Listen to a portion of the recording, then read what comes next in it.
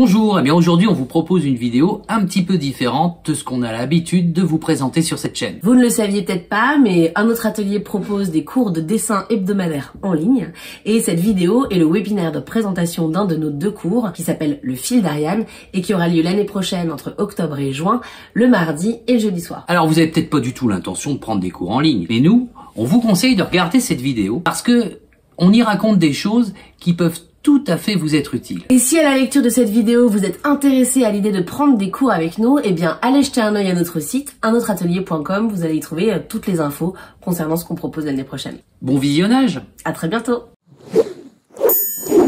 Allez, on va essayer de démarrer à l'heure. On a, on a la propension à être très bavard, donc on, on, va essayer de serrer un peu pour pas euh, pour pas vous emmener euh, dans un parcours qui vous entraînerait pour toute la nuit. Lorsque l'on dessine, qu'on soit débutant ou bien qu'on ait euh, un peu d'expérience euh, dans le dessin malgré tout, euh, on a régulièrement l'impression d'évoluer dans un labyrinthe. On se retrouve face à des face à des tonnes de couloirs comme ça, et la première question qu'on peut se poser, c'est quel chemin choisir? Et évidemment, on s'aperçoit qu'il y a énormément de possibilités dans le dessin et que ces possibilités ne sont pas nécessairement toutes compatibles voilà, l'histoire de l'art nous a montré euh, et continue de nous montrer une variété absolument euh, extraordinaire euh, et merveilleuse d'esthétique et de manière de faire, de technique aussi.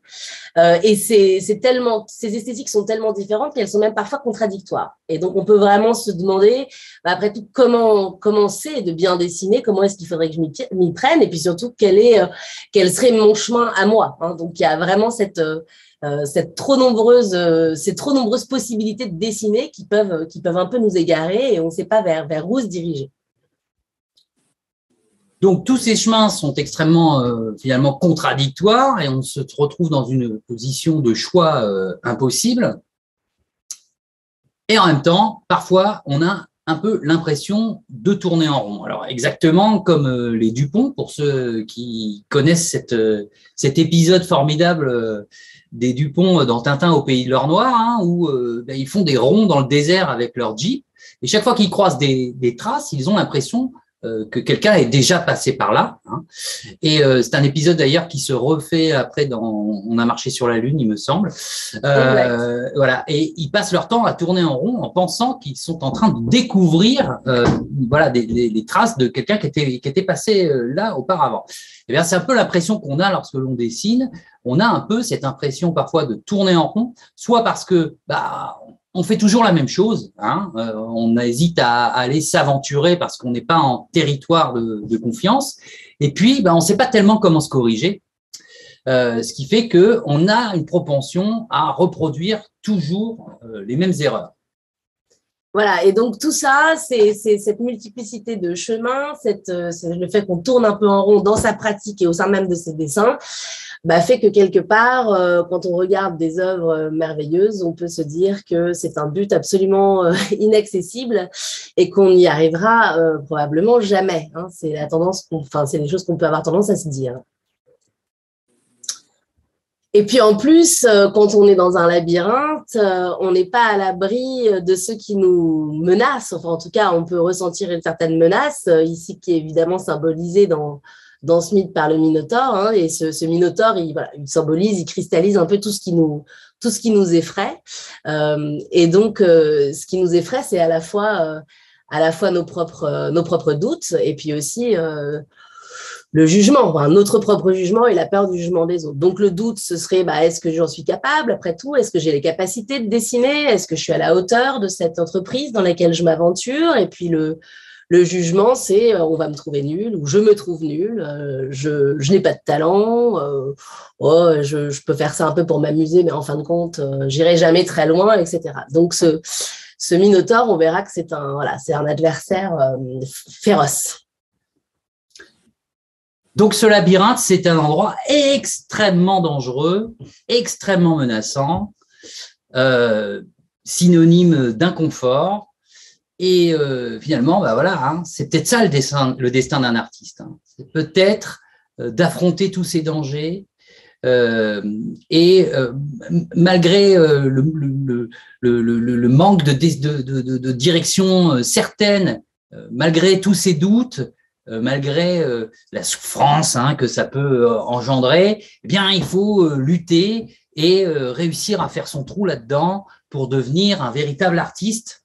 C'est peut-être ça, hein Voilà, alors évidemment, nous, ce qu'on a envie de vous expliquer aujourd'hui, c'est que c'est probablement un peu un mythe, euh, tout ça. Or, vous le savez qu'un mythe, euh, bah, ça se transmet. Euh, et qu'on participe même à transmettre le mythe et on vous propose de déconstruire un peu ce mythe et puis avant de le déconstruire de voir comment comment en fait ce mythe nous est présenté pourquoi pourquoi est-ce qu'on y croit tellement alors, on n'est pas arrivé là par hasard, effectivement. tout d'abord parce que l'art fait son show. Hein. Et euh, donc, c'est extrêmement brillant, euh, c'est extrêmement, ça en, met, ça, en met plein, ça en met plein les yeux. Et euh, évidemment, ça nous influence fortement. Alors, qu'est-ce que c'est l'art? Est-ce que c'est un club select?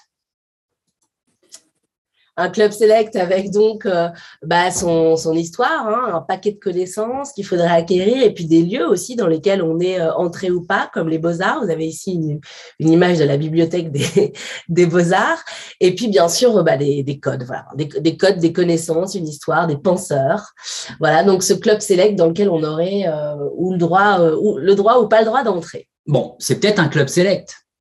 En tout cas, on nous l'a vendu un peu comme ça, mais ça peut aussi être euh, ce qu'on appelle the place to be, hein, l'endroit où il faut absolument être à tout prix.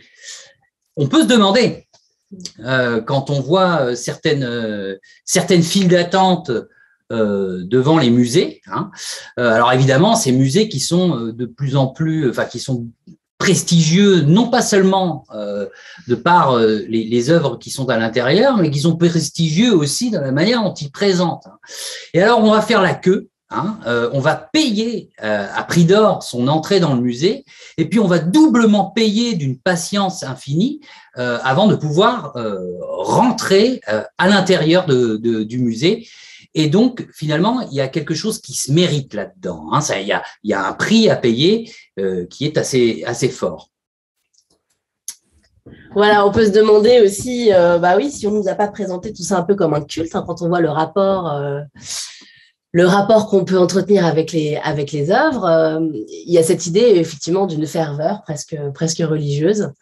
Euh, et euh, notamment, certaines œuvres d'art les plus connues sont, sont vraiment comme des icônes vénérées. Cette image est quand même extrêmement drôle, commune, hein, on la connaît. Hein. Toutes ces personnes qui se, voilà, qui se, qui se prosternent devant, devant ces œuvres, qui sont, ben oui, qui sont, des, qui sont comme des icônes. Voilà. On revient à une fonction ancienne de l'œuvre. Euh, l'icône. Et en même temps, cette icône, bah, c'est à double, c'est à double tranchant, puisque euh, euh, puisqu'en même temps, bah, ces, ces, œuvres d'art ont un, ont un, statut tellement prestigieux que qu'on ne manque pas parfois de les désacraliser, enfin de vouloir les désacraliser, quitte à les, quitte effectivement à les blasphémer. On, on ne peut blasphémer qu'une idole, on pourrait dire.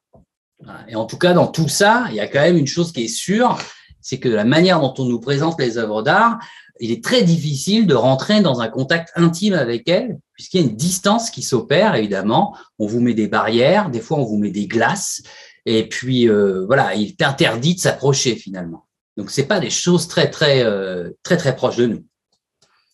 Voilà, d'autre part, on l'art fait son show aussi parce qu'on nous présente évidemment des, des storytelling, hein, des histoires euh, frappantes. En fait, l'artiste aujourd'hui nous est présenté selon trois statuts. Alors, on a le choix entre le génie, hein, qui est l'être humain absolument exceptionnel, euh, euh, très bien incarné bien sûr par Léonard de Vinci. Alors je suis pas en train de dire que Léonard de Vinci n'était pas un, être absolument formidable, euh, mais il incarne vraiment très bien cette figure du génie totalement inaccessible, ce puits de science, de sagesse, de, compétences techniques, etc.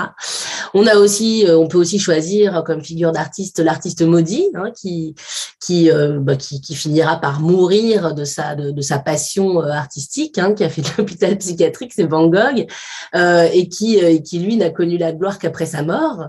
Euh, et puis enfin, on a la figure de la de, la pop star, de la rock star, Andy Warhol, qui là est photographié avec Michael Jackson et qui a donc une très grande cote de popularité. Voilà, donc le génie, le maudit ou la rock star, en tout cas trois statuts qui sont très éloignés du du commun des du commun des mortels. Donc il y a une grande sacralisation encore une fois de l'art par la figure de l'artiste même. Bon, et puis il y a aussi donc tout ça dans l'idée de faire son show, de se, de se montrer, d'être show off comme on dit, hein, c'est ça, euh, bling bling. Eh bien, euh, voilà, tout ça, c'est aussi euh, un miroir aux alouettes qui est destiné à en foutre plein la vue pour sortir du lot. Et évidemment, c'est une réalité dans notre situation actuelle plus que dans toute autre époque.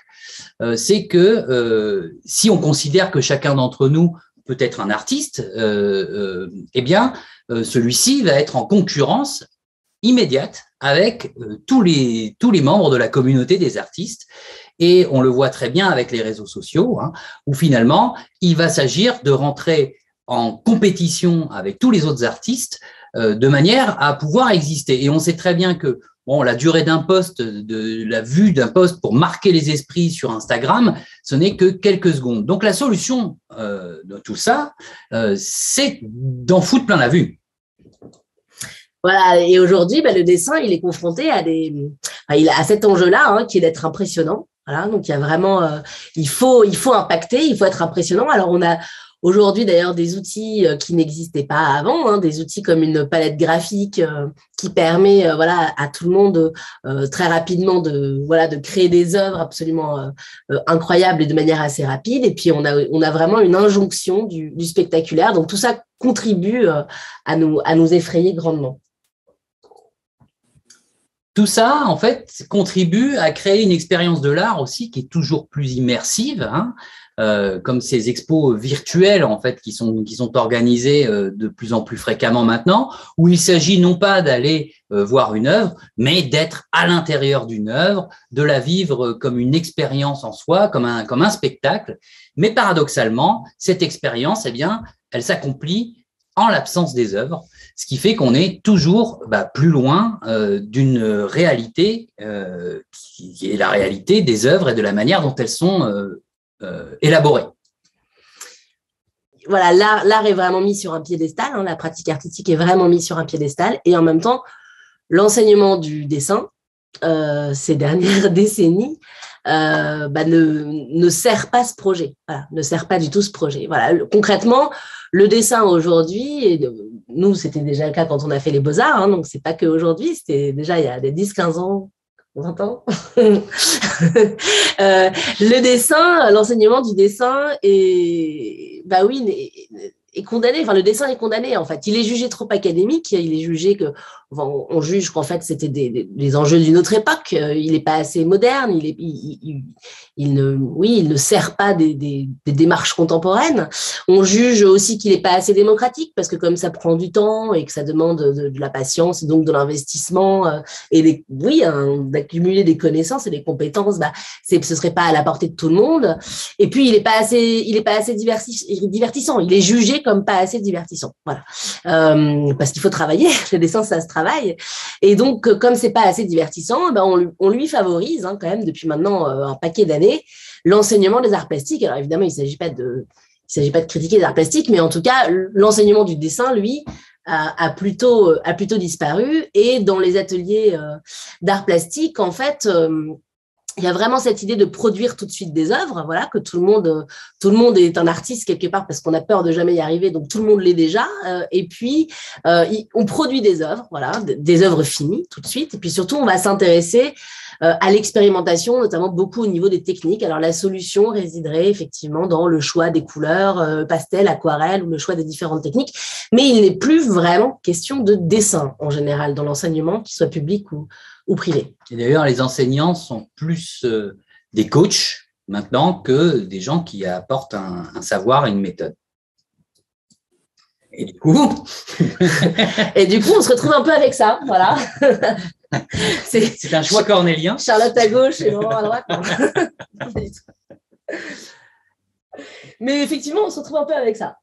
Voilà, choisir son professeur, euh, c'est devenu quelque chose de délicat dans le sens où on peut être tendu si on, si on est voilà si on est caricatural entre euh, la prof euh, d'art plastique un peu fofolle qui vous dit éclatez-vous hein, et le prof rigoureux, rigoureux qui va vous dire souffrez en dessinant des cubes pendant un an avant de pouvoir accéder à des choses un peu plus intéressantes. Entre les deux, bien sûr, il existe un tas de possibilités. Cette proposition-là vous paraît sans doute caricaturale, mais c'est un peu normal qu'elle soit caricaturale, parce que au bout du compte, on est vraiment en train de parler d'un mythe. Voilà, donc dessiner aujourd'hui, c'est un peu comme apprivoiser une licorne. Hein. Euh, on ne sait pas trop comment s'y prendre, euh, euh, qui peut nous aider, dans quelle direction aller. On a peur de mal faire, on a peur de ne pas être à la hauteur. tout ça vient se mélanger hein. et, c'est très brumeux en réalité. Voilà. Alors qu'en fait, c'est ce que nous, on, va s'efforcer de faire avec vous, c'est de vous montrer que dessiner, c'est en fait extrêmement concret. Et c'est tellement concret qu'on pourrait dire que tout commence par un dessin. C'est-à-dire que euh, si vous voyez des, énormément d'activités euh, qui sont euh, principalement des activités artistiques, visuelles, mais même aussi dans l'artisanat, eh bien, tout commence euh, par un dessin, tout commence par le dessin. Alors, si on regarde la peinture, hein, vous voyez ici, c'est évident, c'est mis en, c'est presque mis en abîme hein, sur cette cette peinture de Norman Rockwell où Norman Rockwell se se peint en train de peindre, mais qu'est-ce qu'il fait? En fait, euh, il dessine d'abord. Hein, sous la peinture, euh, il y a le dessin qui vient préparer le travail. Et puis, c'est même redoublé par ces petites esquisses que l'on voit là accrochées hein, sur le bord gauche du cadre. Donc voilà, tout commence par un dessin. Et puis, en architecture également, hein, tout commence par le dessin. Et là, vous avez ici un dessin de Le Corbusier lors d'une conférence. Alors, pour exprimer son travail, pour raconter des choses, eh bien, il va dessiner, mais pour concevoir également les architectures qui vont, qui vont être données à vivre ensuite, eh bien, ça commence également par un dessin. Et puis, même au cinéma, qui pourtant euh, voilà euh, rivalise dans, en termes de représentation évidemment puisque là on se retrouve non pas avec euh, le dessin qui serait une seule image mais on se retrouve avec 25 dessins par seconde si vous voulez eh bien le cinéma lui-même passe par le dessin au moment du storyboard. Et vous avez ici un, extrait de storyboard d'un film de Fritz Lang qui s'appelle Manhunt où on voit que voilà le travail du dessin en amont permet de régler chaque plan et le rythme aussi des différentes séquences. Donc le dessin, il a à la fois une application extrêmement concrète et il est à la base de nombreuses formes artistiques. Et il utilise en fait des moyens extrêmement euh, accessibles. Voilà, et si vous voulez, le crayon, le papier, ces moyens extrêmement rudimentaires qui permettent en fait de développer des projets, voilà, quels qu'ils soient. Là, ici, il s'agit du projet euh, pictural de, David, mais on a vu sur les applications précédentes, ça permet de développer des projets. Donc, on voit ici trois magnifiques esquisses pour, euh, pour le serment des Horaces, et on voit bien que le projet se précise et se dessine justement progressivement. Hein, donc, ces, moyens tout simples permettent en fait euh, beaucoup d'ambition. Alors, ce sont des moyens extrêmement simples parce que euh, finalement, le dessin, euh, c'est le chemin le plus rapide hein, entre la conception et sa visualisation possible. Et du coup, le dessin permet, encore vous voyez ici sur, sur ce travail, sur cette, ce double exemple en fait hein, de, Nicolas Poussin, où vous avez à gauche la toile et à droite euh, une des nombreuses esquisses qui ont permis d'accéder euh, à ce résultat, eh bien, on voit bien que dans ce, travail-là, que fait Nicolas Poussin? Bien sûr, à part aboutir à son idée et régler les différents éléments et leur, positionnement, ce qu'il fait, c'est déjà, il va développer son observation, mais il va aussi régler la forme hein, en, la, en, la, synthétisant, et puis aussi régler la lumière, voilà, de manière euh, synthétique. Et donc, on peut se demander, voilà, observer, bah, observer et synthétiser. Euh, on parlait de la, de, le fait que le dessin a des applications concrètes, mais de manière très concrète aussi, observer et synthétiser, ça s'apprend. C'est pas brumeux, c'est pas une licorne, ça se travaille. Alors, comment est-ce qu'on apprend à dessiner? Euh, bah Déjà, on observe, voilà, on apprend, à, on apprend à, regarder. On regarde à la fois son sujet, bien sûr, euh, et puis on regarde aussi des œuvres. On va aussi apprendre en étudiant avec, avec des profs, mais aussi avec euh, ses, ses, comparses, ses collègues, et puis on va partager aussi euh, le fruit de ses études. On va s'entraîner et s'exercer, c'est une part extrêmement importante, hein, l'entraînement et l'exercice. On peut pas apprendre sans s'exercer. Et vous voyez ici un très joli, euh, joli n'est pas le mot d'ailleurs, un magnifique, puissant dessin étude de Adolf Menzel, on voit très bien qu'il a fait hein, sur cette première main, qu'il a défait en gribouillant, parce que lui, il aimait bien gribouiller sur ses dessins euh, quand il, estime, estimait qu'ils étaient ratés. Adolf Menzel faisait ça, et puis il a refait. Hein, donc il y a vraiment l'idée de faire, défaire, refaire, recommencer, jusqu'à ce qu'on arrive à une, bah, une, une maîtrise. Alors est-ce qu'on arrive à une maîtrise totale un jour? Je ne sais pas, mais en tout cas une certaine maîtrise qui nous permette, voilà, de d'inventer, d'interpréter.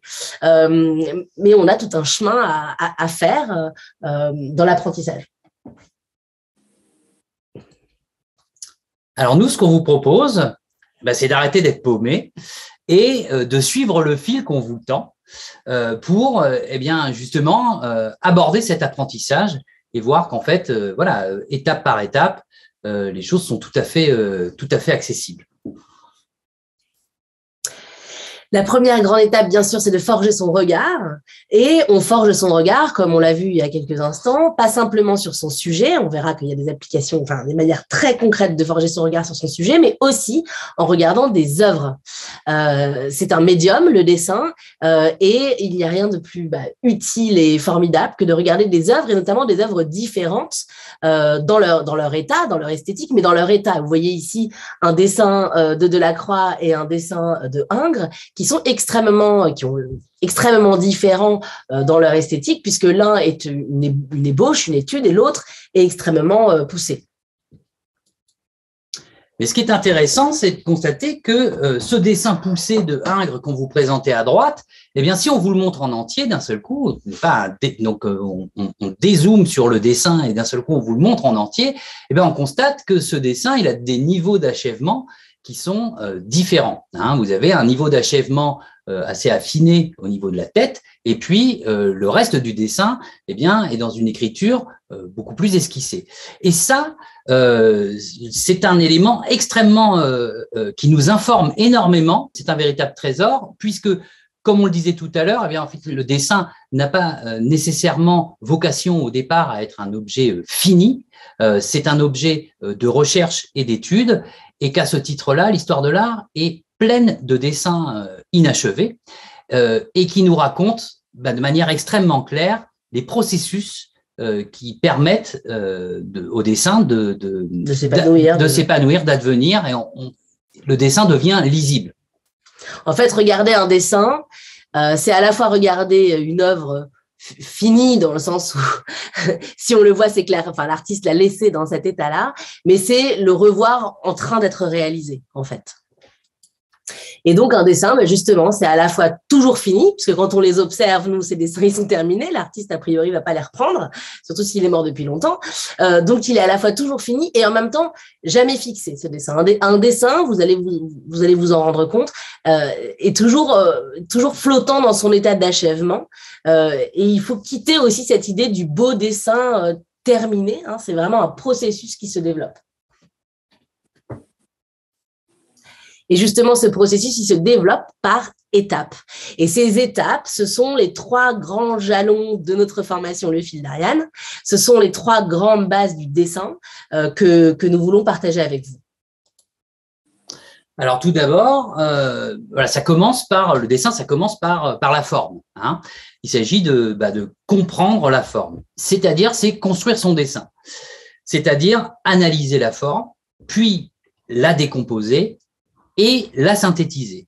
C'est-à-dire que là où on a tendance instinctivement à penser qu'il va falloir renseigner beaucoup de choses pour faire un super dessin et être capable d'en dire un maximum, eh bien vous constatez bien ici sur cette planche que avant d'arriver à ce résultat euh, extrêmement détaillé, eh bien il convient au départ euh, de passer par une étape de construction qui va permettre de synthétiser son dessin euh, et de voir les choses euh, de la manière la plus, euh, la, plus simple possible. Et on verra, vous verrez pendant l'année, hein, que l'on fait énormément référence à la question de la géométrie. Cette géométrie, hein, ce regard géométrique, eh bien, on le, on le, perçoit assez très, très clairement aussi sur ces esquisses de Edward Hopper et même sur ce dessin euh, un peu plus abouti. Vous voyez encore hein, des niveaux d'achèvement différents sur ce dessin, euh, où sur la partie euh, inférieure, on constate que euh, les choses sont extrêmement synthétisées et sont très très simples. Euh, et puis, on a aussi un, geste de recherche qui permet de donner vie à ce dessin. Hein. Souvent, pareil, on a tendance à vouloir affirmer les choses de manière définitive et très rapide, alors que voyez que dans le geste qui est utilisé, eh bien, il y a une approche progressive de son sujet, hein, un geste qui vient euh, comme ça fouiller la forme pour essayer de la, de la comprendre avant de la circonscrire. Donc, le dessin, il a besoin, hein, pour donner vie à son dessin, il a besoin de se nourrir de cette strate sous-jacente de recherche qui est souvent une strate à côté de laquelle euh, on a tendance à passer parce que on pense au, résultat final. Et ça, c'est vraiment important parce qu'on a vraiment en tête ces chefs-d'œuvre magnifiques et on a l'impression qu'ils ont été pondus euh, comme ça. Hein. On parlait de la licorne tout à l'heure. Et si on regarde euh, ces dessins d'Edouard Hopper, on voit donc ce travail géométrique. voilà. et la géométrie, c'est très concret. Parce que on peut se dire, oulala, la géométrie, est-ce qu'il va falloir que je sorte mon compas euh, et ma règle? Pas du tout. Hein. bon, ça, on, on, vous garde ça pour la rentrée, mais euh, il s'agit pas de sortir des outils de mesure. Il s'agit de développer un regard, en fait, euh, oui, euh, objectif. Voilà, grâce à un regard euh, géométrique, on, est objectif et on arrive hein, à construire tout cela. Et donc, euh, il y a cette idée vraiment dans le dans, les bases du dessin d'être capable de saisir l'essentiel, de voir rapidement. Et on a toujours cette, idée, comme Laurent le disait, du beau dessin magnifique terminé. Et si on regarde les croquis des plus grands artistes, on voit que dans leurs travaux les plus rapides, il cherche toujours l'essentiel de la forme. Et souvent, le, débutant veut, voilà, veut trop aller vers le résultat et passe à côté de cette vision essentielle de la forme qui se développe en temps rapide. Et donc, c'est une, c'est une petite phrase qui, est, qui est très juste, que nous, on s'approprie beaucoup. Je ne sais pas qui l'a inventé, mais que le dessin s'apprend véritablement dans le temps court et se perfectionne ensuite dans le temps long. La deuxième, euh, le, deuxième pilier, on va dire, de, notre, de notre méthode, hein, la méthode qui permet de, de, comprendre comment, comment, comment faire son départ, pas seulement de le comprendre d'ailleurs, hein, de mettre en œuvre un dessin, hein, et eh bien ça va être, une fois qu'on a circonscrit cette forme, une fois qu'on l'a analysée, une fois qu'on l'a synthétisée, eh bien on va être en mesure de l'éclairer. Hein. Et pour l'éclairer, cette forme, alors euh, il va s'agir de travailler ce qu'on appelle en valeur. Hein, C'est-à-dire que, évidemment, au lieu euh, de raconter euh, toutes les nuances que l'on observe, eh bien, il va s'agir de fonctionner avec des valeurs de gris restreintes qui permettent néanmoins de raconter toute la richesse de, ce qui est observé. Donc, c'est un travail, hein, ordonner ces valeurs, c'est à la fois un, un travail de transposition. Hein. Euh, transposition parce que euh, il va falloir transposer une réalité que j'observe en couleur, il va falloir que je la transpose en niveau de gris, ou alors même si j'observe une photo par exemple qui est en niveau de gris, il va falloir que je sois capable de transposer une infinité de gris en un nombre de gris qui soit euh, gérable à travailler. Hein. Sinon, vous vous rendez bien compte que ça devient une mission impossible. Donc, il va falloir travailler de, manière à transposer tout ça. Tout ça, ça va nous servir évidemment, quand on éclaire son sujet, ben, ça sert à rendre le volume. Vous voyez bien ici que on a un dessin à plat, en quelque sorte, hein, qui serait presque une, carte euh, du, du, du, sujet, et puis décompose les valeurs, paf, le volume apparaît. Hein. Ça, c'est la lumière qui permet de révéler le volume. Ça permet également, évidemment, d'informer les détails. Vous constatez qu'à partir du moment où les valeurs sont informées, eh bien, vous avez accès à des informations de texture, de matière, de détails qui ne sont pas racontés euh, autrement par la, par la ligne. Hein, ça, c'est une, c'est un travail de, de, qui est informé par la lumière et par les valeurs. Et puis, cerise sur le gâteau, euh, évidemment, euh, travailler la lumière, c'est créer une atmosphère, c'est mettre en scène son dessin. Hein, et on sait bien, euh, pour ceux qui s'intéressent au théâtre ou au cinéma, eh bien évidemment que l'éclairage, euh, c'est un élément qui fait euh, partie intégrante de la mise en scène.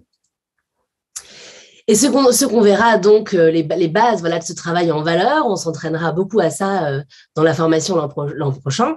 C'est donc de s'entraîner à être capable de, de, trier ces valeurs. Et nous c'est ce qu'on appelle la découpe en deux. C'est un terme un peu de boucher, mais il n'empêche que c'est efficace et clair comme comme terme.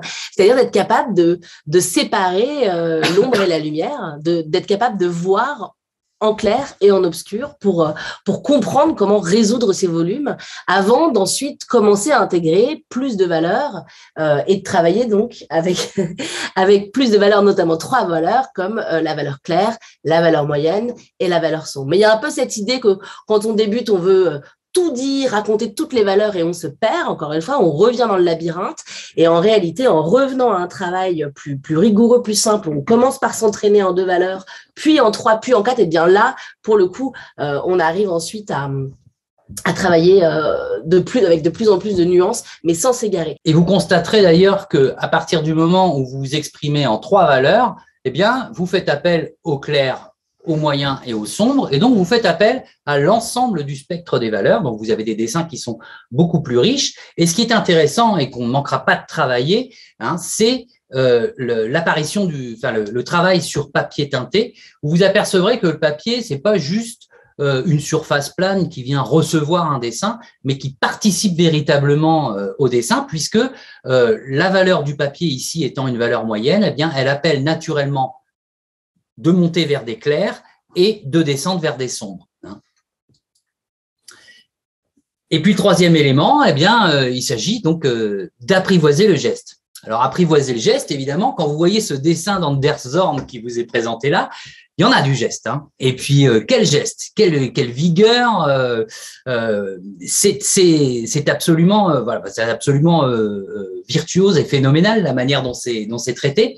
Et le principe du geste, c'est qu'au départ, on a tendance à on a tendance à soit n'en faire qu'un seul, celui qu'on a l'habitude de faire, soit partir dans tous les sens et faire avoir un dessin qui n'est absolument plus lisible. Et voyez bien que entre ce trop et ce trop peu, eh, c'est difficile de trouver le juste milieu. Et lorsque l'on parle du geste, eh bien, on est vraiment dans cette dialectique entre maîtrise et relâchement, hein, euh, où on va essayer de tenir son geste et en même temps, de temps en temps, de pouvoir lui faire dire ce qu'il a à dire. Et on a vu déjà, on en a déjà parlé précédemment quand on parlait de la construction, il y a ce geste de recherche hein, qu'il faut être capable d'apprivoiser, qui est un geste léger et qui permet de monter son dessin progressivement et d'être agile dans sa recherche. Donc ça, c'est un geste, c'est le premier geste dont on, dont on parlera. Et puis, eh ben forcément, après le geste de recherche, il y a, quand on est un peu sûr de soi, le geste d'affirmation, qu'il convient aussi euh, d'utiliser euh, avec parcimonie, parce que vous imaginez bien que si vous affirmez partout, vous n'affirmez plus rien. Hein. Donc, euh, ce geste d'affirmation, nous en parlerons également. Donc, il y a aussi ce besoin d'économie du geste, hein, ne pas en mettre partout, il faut le convoquer là où on en a besoin. Et puis le faire dialoguer avec les valeurs. Et donc ça, c'est l'écologie du geste, c'est-à-dire que le geste euh, en soi, c'est rien, c'est euh, la manière dont il va cohabiter à la fois avec euh, la forme, à la fois avec les valeurs et à la fois, bien sûr, avec les autres gestes. Tout ça, et on en parlera beaucoup, vous verrez, le dessin, c'est un véritable écosystème. Hein. donc il y a vraiment une écologie du dessin. Avec un équilibre. Il faut que tout ça voilà, soit à l'équilibre, euh, sous peine de, euh, voilà, de, désordre total. Euh, et puis, bien sûr, il y a la dynamique de geste. Et regardez bien là à quel point, voilà, c'est flagrant. Voilà, et dans le geste, euh, il y a la manière dont on va placer les valeurs, bien sûr, puis il y a la ligne. Hein. La, ligne, on en a pas, enfin, on en a parlé, oui, quand on parlait de gestes de recherche, hein, ces, ces, premières lignes de recherche. La ligne, c'était à la fois le tout début du dessin, les toutes première ligne qu'on pose hein, pour commencer à venir circonscrire la forme. Et c'est aussi la touche finale, hein, comme on le voit là sur, euh, euh, sur le dessin de droite, vraiment les lignes de réo les plus fortes qui viennent de manière incisive, préciser et confirmer.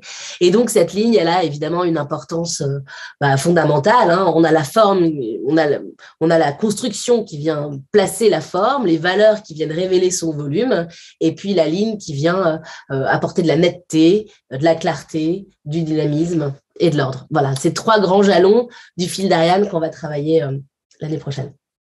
Ah, le slide. Et donc ce geste aussi, pardon, euh, ce geste, euh, c'est pas c'est à la fois donc une observation de où vont être les lignes fortes hein, où vont-elles être où dois-je les mettre mais aussi euh, mais aussi bien sûr le geste en dessin euh, c'est la signature personnelle de l'artiste hein, c'est c'est ce qui fait qu'on reconnaît un dessin de Adolf Menzel à gauche de Seurat à droite ou de Van Gogh ou de voilà quand on connaît un peu euh, certains dessinateurs on, on, on, reconnaît leur touche hein, on parle de la touche du peintre mais il y a vraiment le, geste du dessinateur. Et donc évidemment l'emploi du geste euh, réclame à la fois de la sensibilité, euh, du contrôle, de la propos. Encore une fois, on parle de cette écologie, euh, cet équilibre de tout à l'heure. Et puis, bah, du coup, par l'intervention du, geste, on ne peut pas parler de geste sans parler de l'outil également. Et on ne peut pas parler du geste et de l'outil finalement sans sans savoir à quoi, ils, à quoi ils vont servir, quel est le sujet qu'ils servent. Et donc, dans l'exploration du geste et des outils également, eh bien, on a la possibilité d'explorer ce que nous ne manquerons pas de faire, euh, des sujets hein, et des outils euh, variés. Et vous constatez que, par exemple, sur ces deux dessins, euh, qui sont tous les deux des dessins euh, de paysages, voyez, euh, bon, euh, qui utilisent des techniques qui sont extrêmement, extrêmement différentes, eh bien, parce qu'ils utilisent des techniques et des outils différents, ils convoquent également euh, des gestes euh, extrêmement différents. Donc, il y a aussi cette richesse-là à explorer qui doit finalement, à terme, euh, vous permettre de trouver le bon geste pour vous mettre au service de votre sujet, mais peut-être aussi, petit à petit, de découvrir quels sont les gestes et quels sont les outils et les esthétiques qui, avec lesquels vous êtes en affinité. Et donc, ce qu'on vous propose avec cette formation, hein, donc de travailler ces trois grandes bases euh, du dessin, qui sont d'ailleurs euh, euh, des bases, mais pas comme si c'était des bases qu'on allait mettre derrière soi après, hein, qui sont vraiment le, moteur de, tout dessin. On vous propose de grandir, de grandir ensemble dans ce projet. Et, et, comme on va vous montrer dans pas longtemps, notre pédagogie, elle s'organise autour donc de cours théoriques. Euh, chaque, chaque séance commence par un cours, une présentation qui vous montre des œuvres, qui vous montre des principes, des, des paramètres du dessin, euh, des exercices ciblés. Et nous, euh, un de nos, enfin voilà, un de nos, de nos drapeaux pédagogiques, c'est que euh, nous ne voulons pas ennuyer nos élèves avec des, du critérium. C'était un des, un des exemples qu'on avait mis sur notre site. Moi, j'aurais détesté, d'ailleurs, je ne l'aurais pas fait, hein, m'entraîner à dessiner avec des critérium.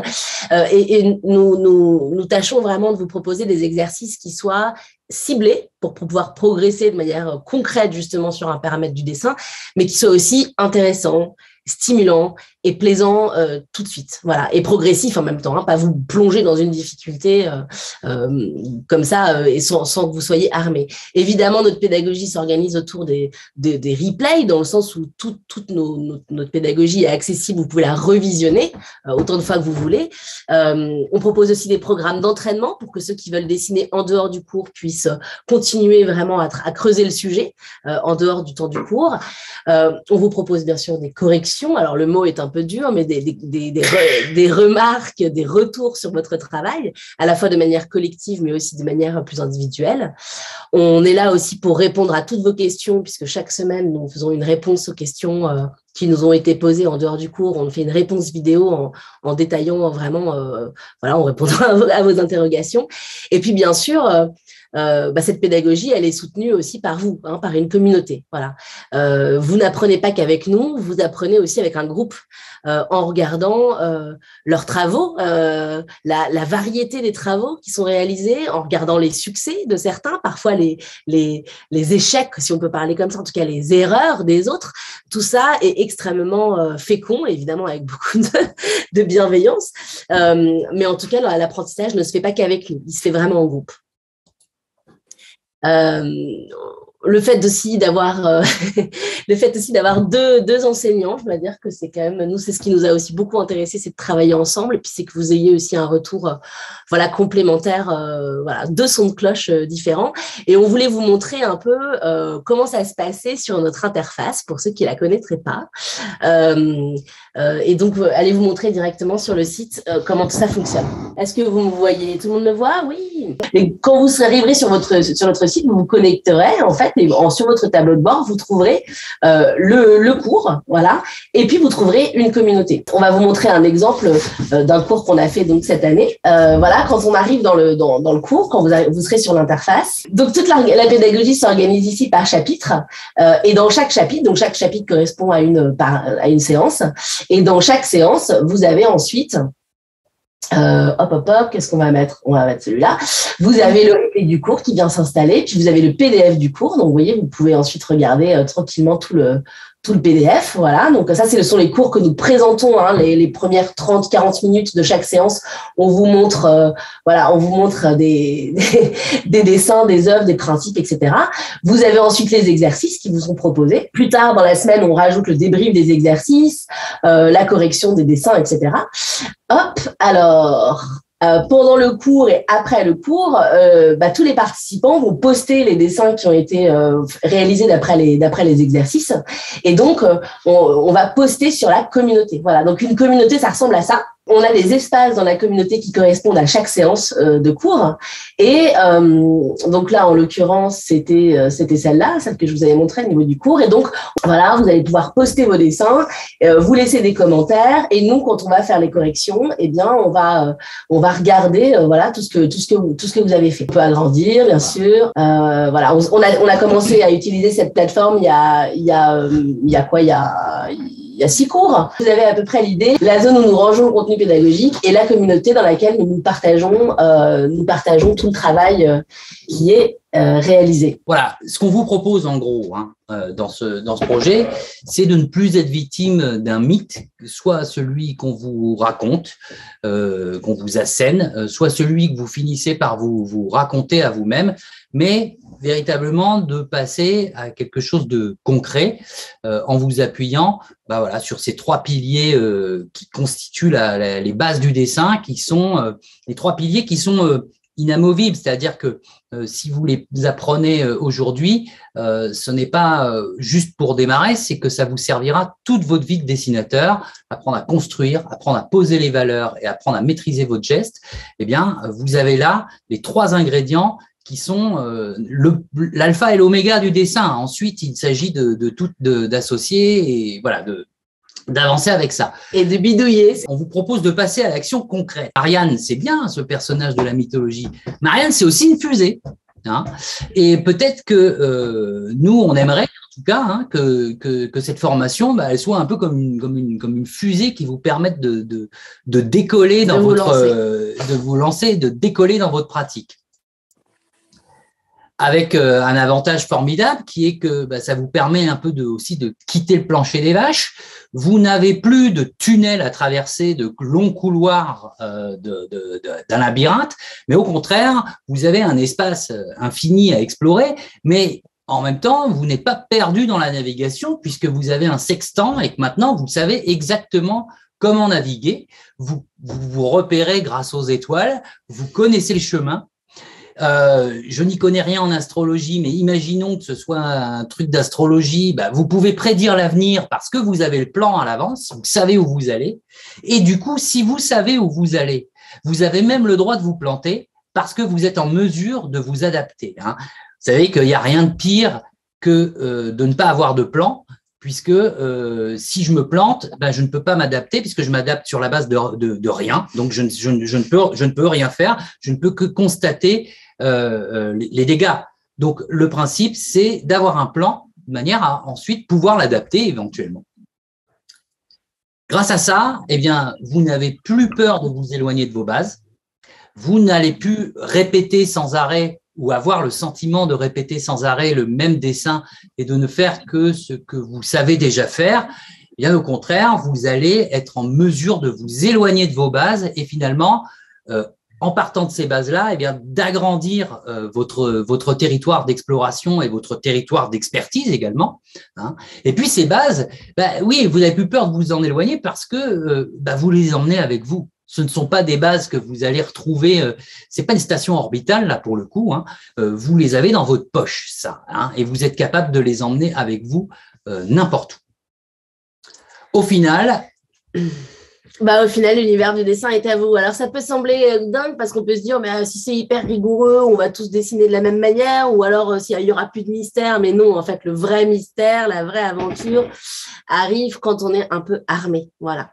Euh, on vous propose donc de sortir de cette brume et de ces murs du labyrinthe pour voilà, développer votre compétence de ces trois outils qui vous permettra ensuite vraiment de, de découvrir et de parcourir l'univers du dessin peut-être, on ne sait pas, hein, peut-être vous avez appris des choses déjà lors de cette présentation.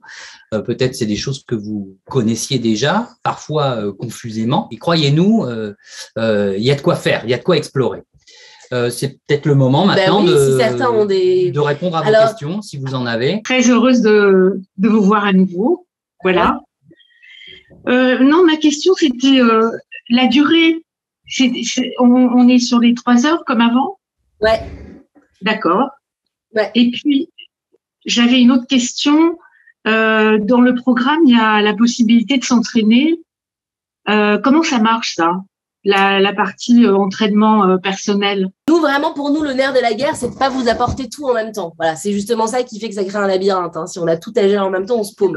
Donc, en gros, chaque cours travaille un aspect. évidemment, hein, on travaille, au bout d'un moment, on travaille et la construction et les valeurs et le geste, etc. Mais chaque cours travaille un aspect et on vous donne à la fin du, à la fin du cours, on vous, on vous propose des exos en plus. Ah, d'accord. Support d'exos en plus. On vous propose des exos pour tous ceux qui, veulent, qui ont plus de temps pour travailler. C'est bon, merci. Est-ce que vous pouvez repréciser le, les jours et les horaires?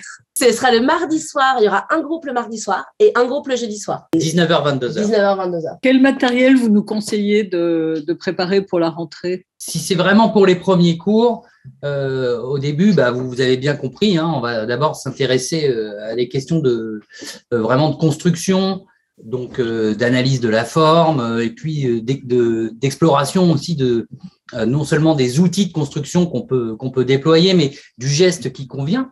Et ça veut dire que au départ, on va pas être sur un souci d'exécution, on va être sur un souci de compréhension. Donc le matériel, euh, pour les premiers cours, euh, vous pouvez fort bien disposer euh, d'une simple mine graphite et de, papier de papier d'imprimante. Au départ, ça suffit, ça suffit amplement. Hein. Et puis de toute façon, concernant cette question du matériel, ben, vous allez, bien entendu, on vous abandonne pas jusqu'au début des cours comme ça.